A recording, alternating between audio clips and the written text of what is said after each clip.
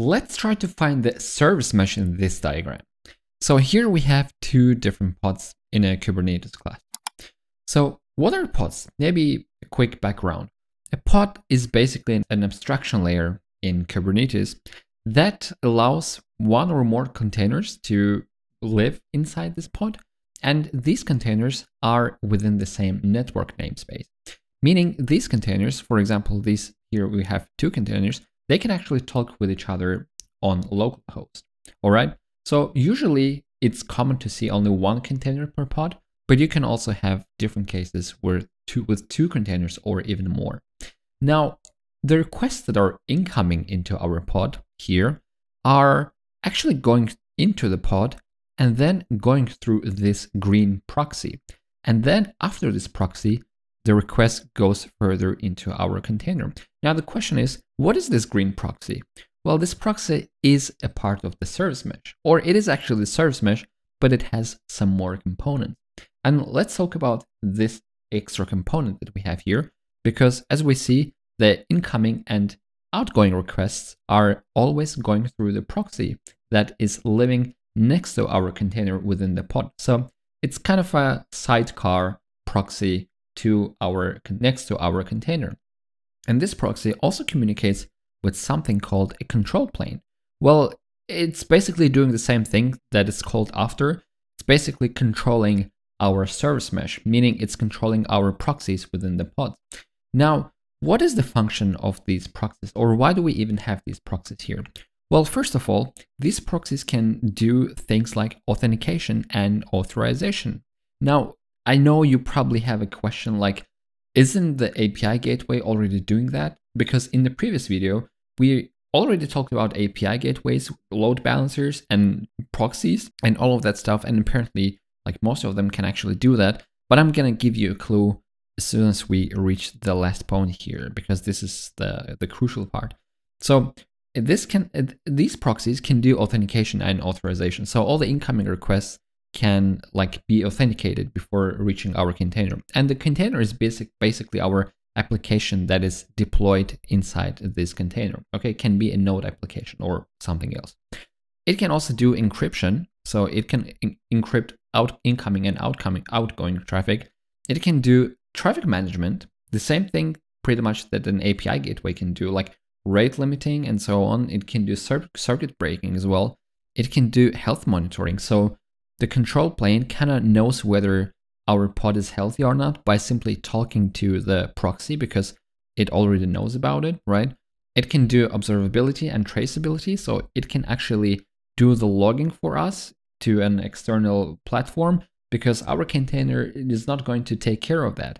Our container is solely focused on the business logic and it doesn't have to do like health monitoring or, or traffic management. Our proxy is going to do all of that. It can even do load balancing. Yeah, if you have two containers like this here, this proxy is going to balance the load itself between these containers. And of course, you can apply specific policies to this proxy so that it knows how exactly to do the load balancing for you. And one of the main points is actually service discovery. In my previous video, or in my one of the previous videos in the playlist of system design and architecture, so go check it out if you're interested, we talked about service discovery, which is a component that is aware of all the microservices within our VPC or within our platform so that it knows how to reroute the traffic because it's aware of all the microservices that register and deregister if they're if they're like down or if a new one spins up. And it turns out the service mesh can actually do that right away. It's it's an included feature that's coming with the service mesh. So it's quite powerful. And as I said, the last point here is that we call a service mesh an east-west traffic. Why is it called an east-west traffic? Because here we're caring about facilitating the communication between microservices. So if we look at this diagram here of our Kubernetes cluster, it can also be a VPC, virtual private cloud. Uh, the service mesh is going to facilitate the communication between the pods compared to an API gateway, which usually sits at the edge of, at the edge of our cluster as an entry point from other clients. And this one is going to be called the north-south traffic. So if you ever hear these terms, this is what it's meant by east-west traffic. All right. So also another useful, one of the big use cases for a service mesh is something called zero trust security policy or security architecture, I think it's called.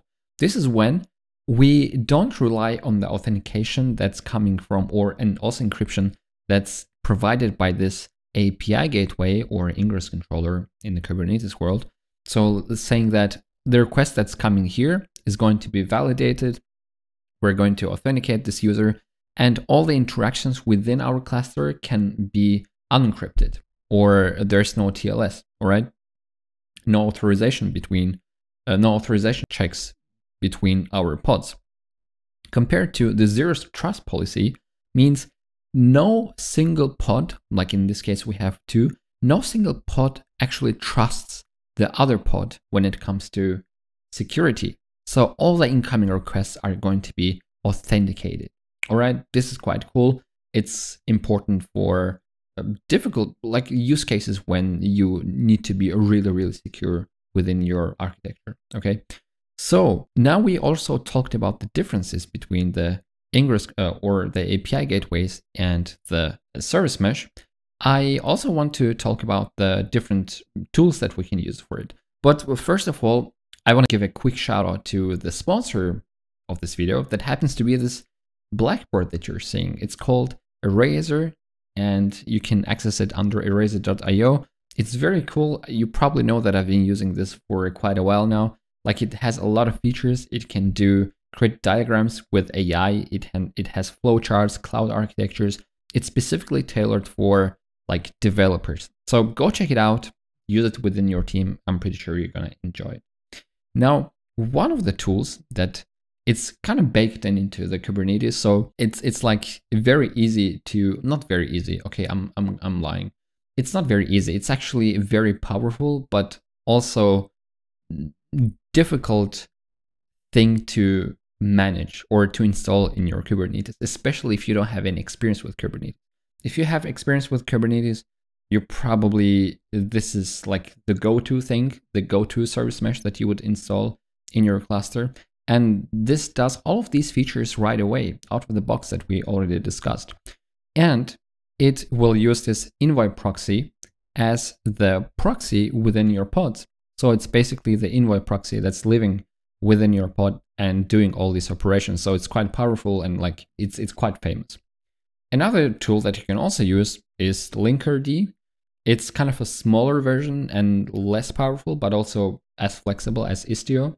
So you can also choose that if you like.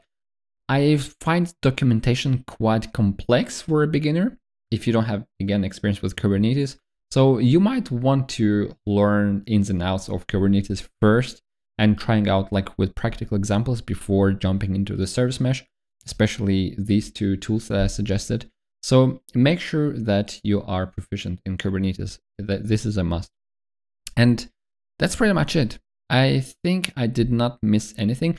All right, one thing, um, if you think about the previous video with the service discovery, you might say that we already looked at service discovery tools as well, such as uh, the Netflix's Eureka that's baked into the Spring Cloud. Well, you can have a service discovery module or a service discovery ser- service discovery ser- service discovery as a separate thing.